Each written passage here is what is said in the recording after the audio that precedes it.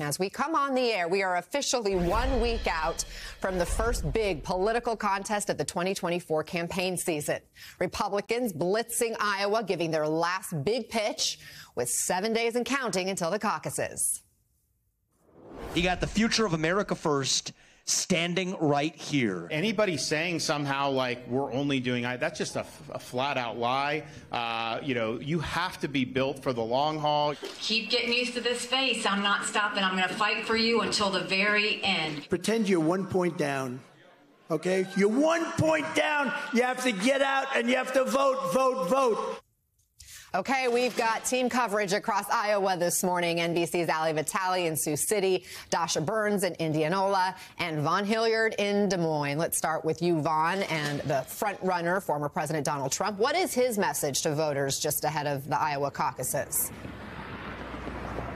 well, Ana, on January 6th, he made several references directly to the third anniversary of the January 6th Capitol Hill attack, in which he called the defendants hostages. Of course, for Donald Trump, throughout the course of his candidacy, he has not run away from the attacks of that day or the conspiracy theories, but instead has tried to use them to propel support in solidarity around him, his supporters, and his candidacy. I want to let you hear from Donald Trump this weekend.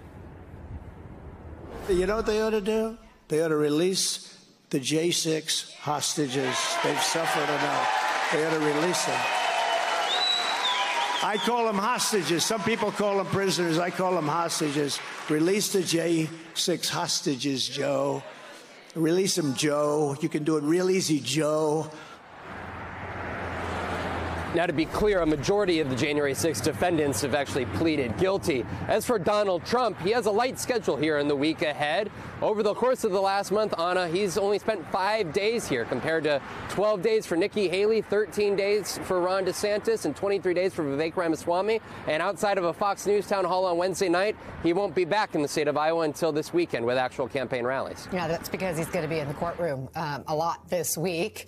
At least that's part of the reason he's not there in Iowa, which we'll discuss in just a moment. But Ali, let's talk about Nikki Haley. Trump's been targeting her more and more. She's also faced recent criticism for comments she's made regarding the Civil War, also saying New Hampshire corrects the Iowa vote. What's her strategy this week, and what would success look like for her campaign in Iowa? Well, look, certainly not the kind of thing you want to lead with to Iowa voters, saying that the state that comes after them is the one that corrects the decision that they make. Haley, of course, explained that comment away over the weekend, saying she's kidding. All of the early states rib each other.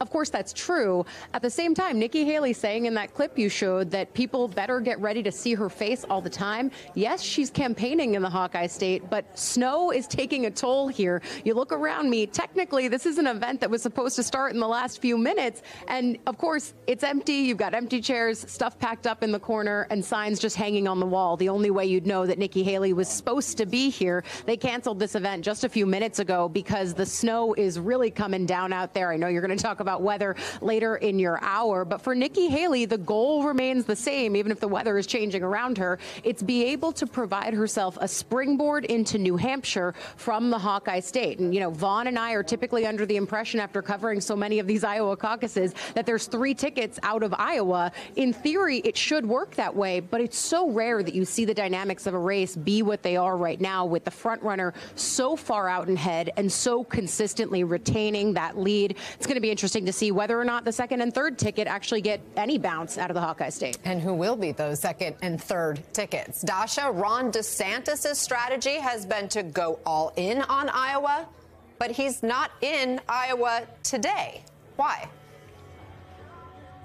Well, Ana, first, I'm at a Ramaswamy event right now. You can see that signature truth sign behind me. His wife, Apoorva, is holding a solo event here today. They're splitting up events, as uh, Ali said, the weather taking a toll on some of the travel here today. He's completed a double Grassley, meaning he's visited 99 counties, all 99 counties here in Iowa twice, which is pretty remarkable. But it is Florida Governor Ron DeSantis who has poured the most resources, put the most most eggs in the Iowa basket of any of the candidates. He's not in the state today because he is still the governor of Florida. He has to give his state of the state address uh, tomorrow, so he's preparing for some Florida business right now. But he has gotten the endorsement of Florida Governor Kim Reynolds, the endorsement of evangelical leader Bob Vander Plaats. He has moved a ton of his staff here to Iowa. He has moved uh, all of his money into Iowa.